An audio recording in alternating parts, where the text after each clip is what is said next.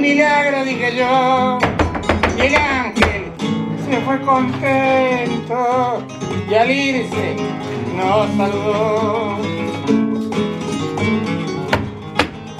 De golpe la niña dijo,